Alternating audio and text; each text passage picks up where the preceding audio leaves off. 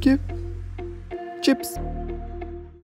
Fala galera do TukTip, sejam bem-vindos a mais um vídeo e hoje teremos o comparativo entre o Poco M2 versus Poco M3. Bom, vamos começar pela tela.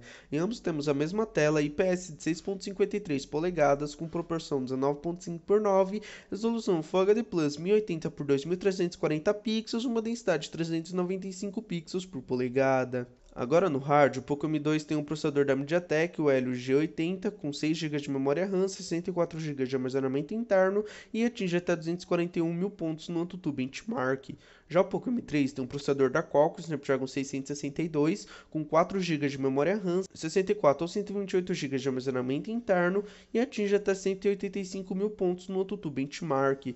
Bom, no quesito hardware, o Poco M2 está melhor, pois ele tem um desempenho maior, atingindo mais pontos no AnTuTu Benchmark. Agora em câmera, o Poco M2 tem uma câmera principal de 13 megapixels, uma lente grande angular de 8 megapixels, uma lente macro de 5 megapixels, uma lente com modo retrato de 2 megapixels e sua câmera frontal é de 8 megapixels. Já o Poco M3 tem uma câmera principal de 48 megapixels, uma lente macro de 2 megapixels, uma lente com modo retrato de 2 megapixels e sua câmera frontal é de 8 megapixels.